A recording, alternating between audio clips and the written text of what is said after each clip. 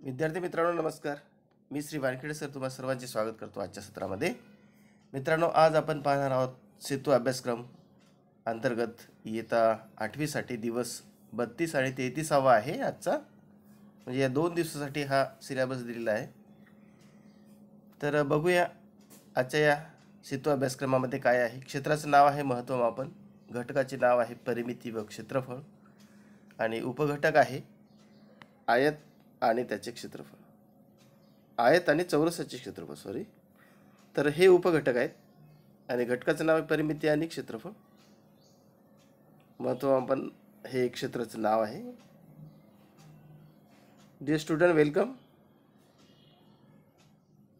we are going to see about measurement in class ten eight standard eight and area of name आहे area name म्हणजे क्षेत्राचं नाव आहे. Measurement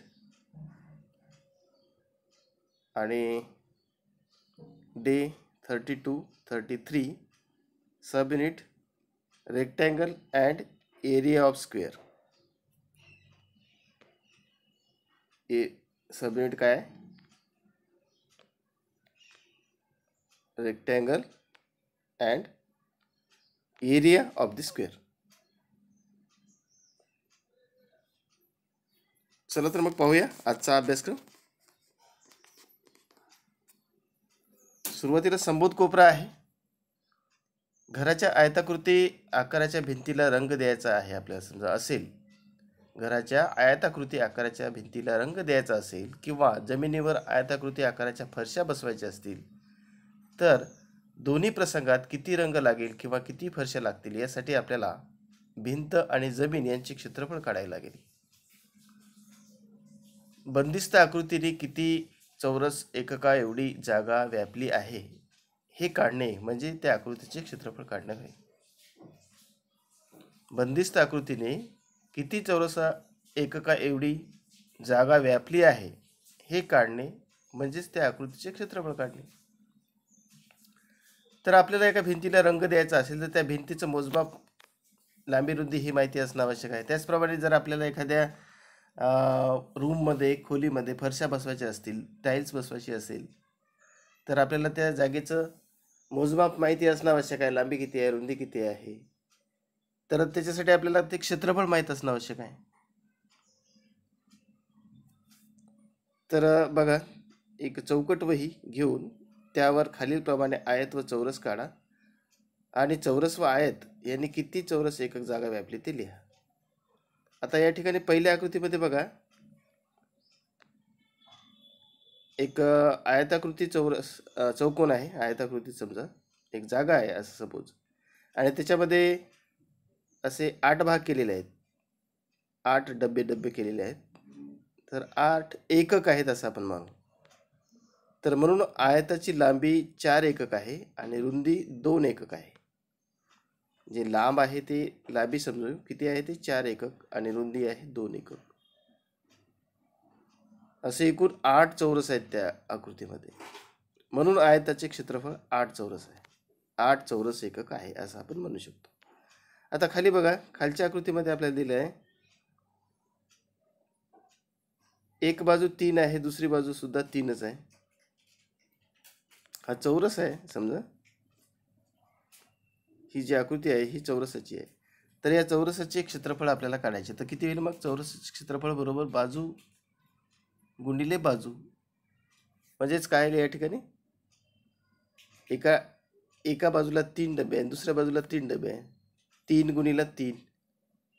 म्हणजे लांबी तीन एकक. एक बाजू तीन एकक म्हणूया आणि दुसरी बाजूसुद्धा तीन एकक आहे. तीन गुणीला तीन म्हणजे नऊ. अशा प्रकारे या ठिकाणी आपण या चौरसाचे क्षेत्रफळ आणि आयताचे क्षेत्रफळ काढता येते. काढू शकतो.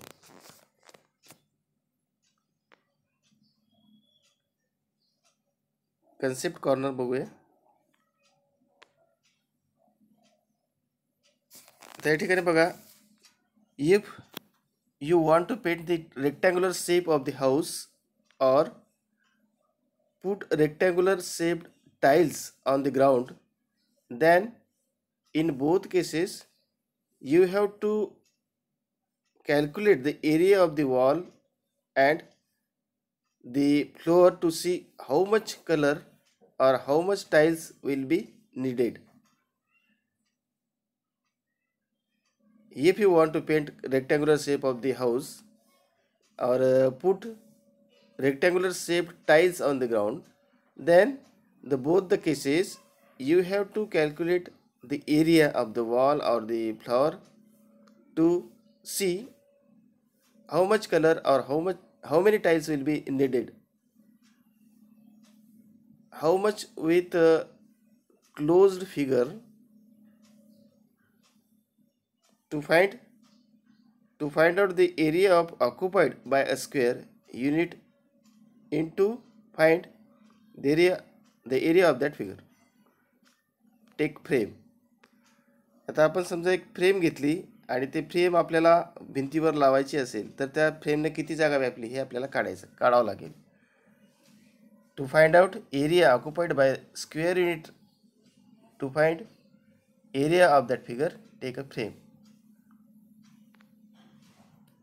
त्याचप्रमाणे या ठिकाणी एका भिंतीला मागच्या उदाहरणाप्रमाणेच कलर लावायचा असेल तर आपल्याला त्या जागेचं क्षेत्रफळ माहीत पाहिजे. म्हणजेच त्याची लांबी रुंदी माहिती पाहिजे. किंवा एका रूममध्ये आपल्याला टाईल्स बसवायचे आहेत. Rectangular shaped tiles on the ground then in both cases you have to know area of that particular spaces अशा प्रकारे या ठिकाणी सुद्धा आपल्याला book and draw rectangular take a book आहे ते.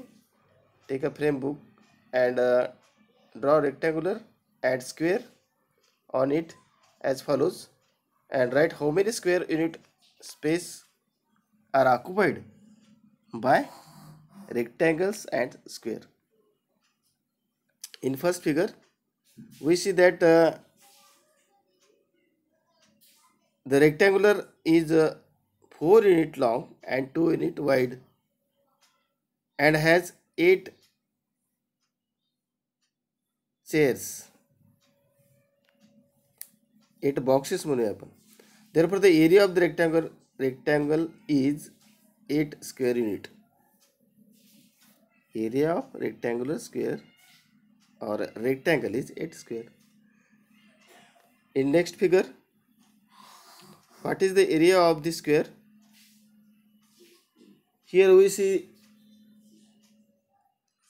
1 2 3 and 1 2 3 three boxes.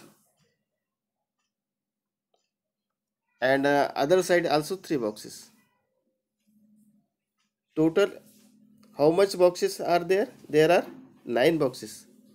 Therefore this uh, area of the square of this uh, figure what is the area of this figure विचार square विचारलेला आहे म्हणून area of the square equal to three by three therefore area equal to 3 into 3 equal to 9 because there are 9 boxes 9 square unit.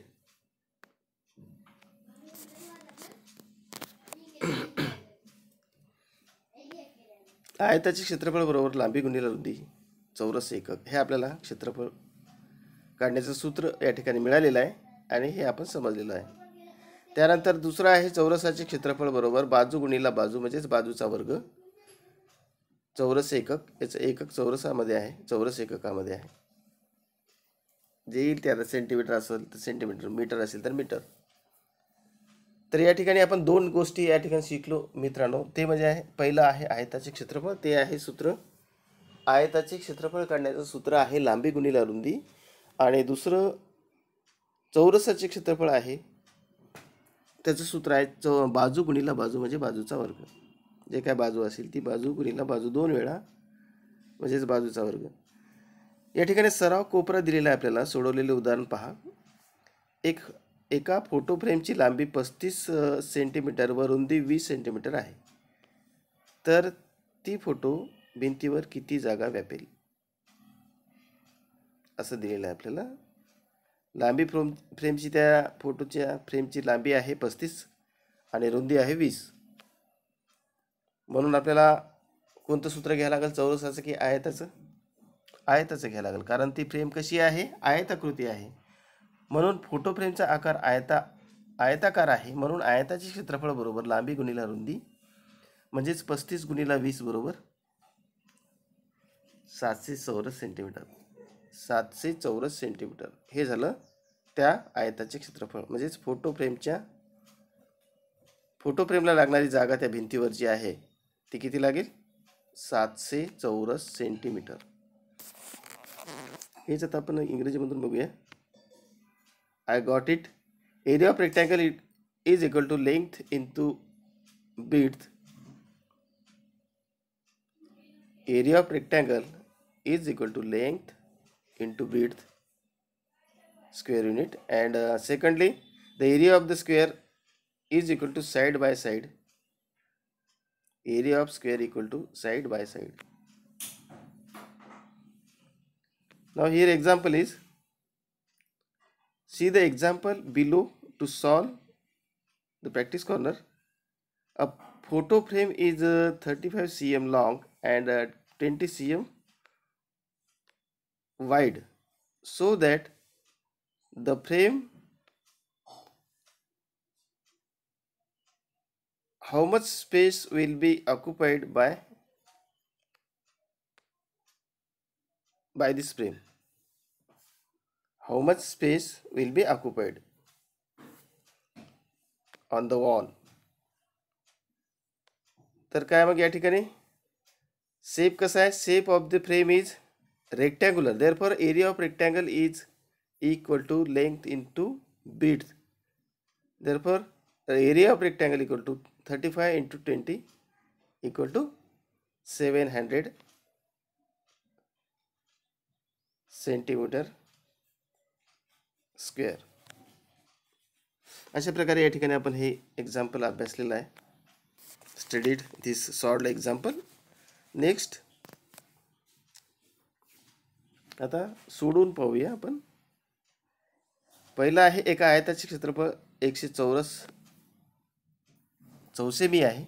एकशे बासष्ट चौसेमी आहे. त्याची लांबी अठरा सेमी असेल तर आयताचे क्षेत्रफळ किती? क्षेत्रफळ दिलं चुकीचं आहे हा प्रश्न. या ठिकाणी क्षेत्रफळाच्या ऐवजी काय पाहिजे? लांबी पाहिजे.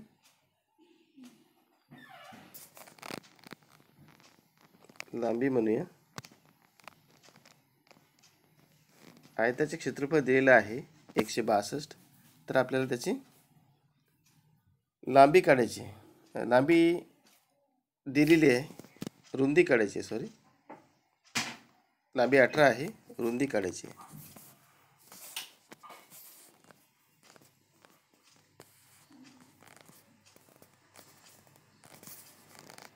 या ठिकाणी रुंदी लिहूया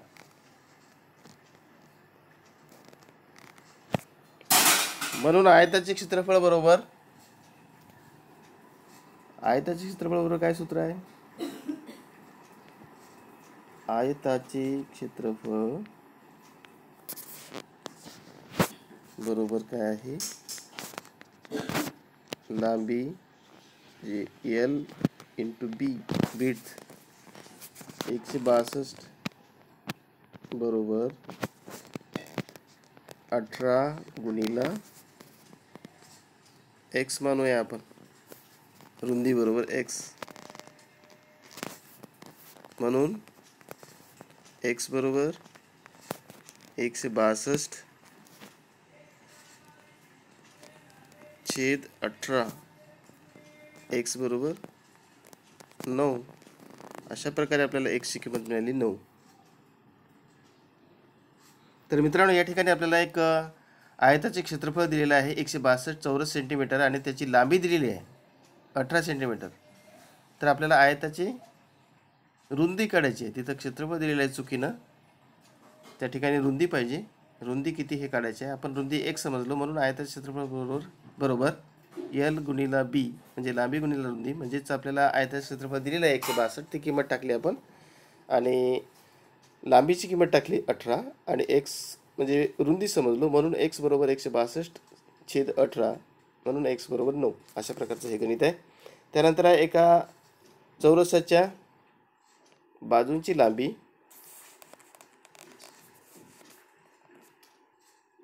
दुप्पट केली तर त्याचे क्षेत्रफळ मूळ चौरसाच्या कितीपट होईल असं विचारलं एका चौरसाच्या बाजूची लांबी जर दुप्पट केली तर काय होईल? क्षेत्रफळाचे मूळ चौरसाचे क्षेत्रफळ किती होईल मग? आता सूत्र काय? आहे? चौरसाचे क्षेत्रफळ बरोबर चौरसाचे क्षेत्रफळ बरोबर बाजू गुणीला बाजू म्हणजे बाजूचा वर्ग. दुप्पट केली तर दुप्पट बाजूचा वर्ग. अशा प्रकारे. चला तर नेक्स्ट पाहूया. हेच आता इंग्रजीमधून बघा. या ठिकाणी area of rectangular is one sixty two square area of rectangle is 162 centimeter square centimeter. If length of if its length is 18 cm what is the width of the rectangle पाहिजे? Width of the rectangle. तर काय होईल मग width? ते आपल्याला काढलेल्या वरच्या ठिकाणी तसंच त्याप्रमाणेच होईल.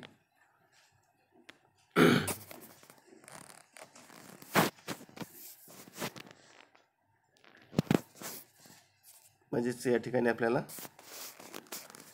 ही एल आहे अठरा आणि हे एक्स आहे. एक्स समजलो आपण बीड म्हणून ई बरोबर area of this rectangular shape equal to L into B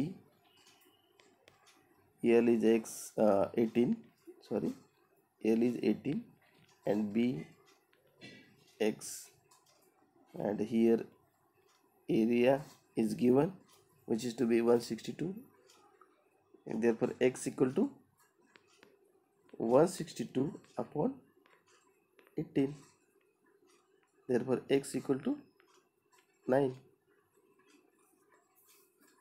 x which is width of the rectangle is 9 cm अशा प्रकारे आपण या ठिकाणी हे काढलेलं आहे तर त्यानंतर खालचा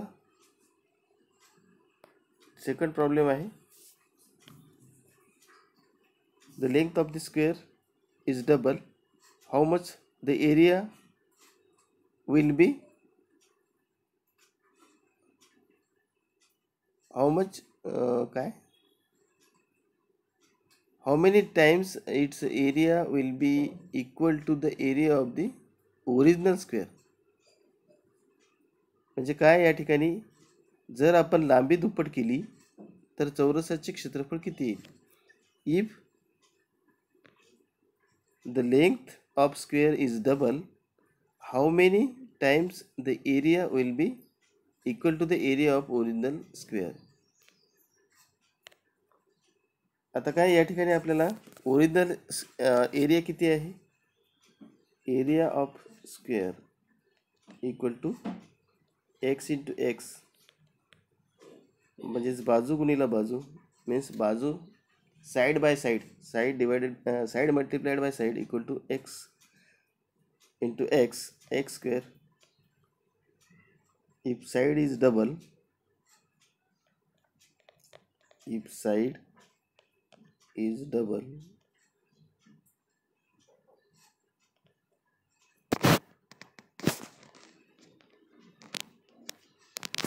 then area also double 2x square. This is the answer of the second question. अशा प्रकारे हे या ठिकाणी आपण सोडवलं तर मित्रांनो अशा प्रकारे आजचा हा सेतू अभ्यासक्रम या ठिकाणी संपलेला आहे. व्हिडिओ जर शेवटपर्यंत तुम्ही पाहिला असेल तर नक्कीच आवडला असेल. आवडला असेल तर सबस्क्राईब करा तुमच्या मित्रांना सांगा. आणि भेटूया परत उद्याच्या सत्रामध्ये. तोपर्यंत हा पूर्ण सराव आजचा तुमच्या वहीमध्ये लिहून ठेवा.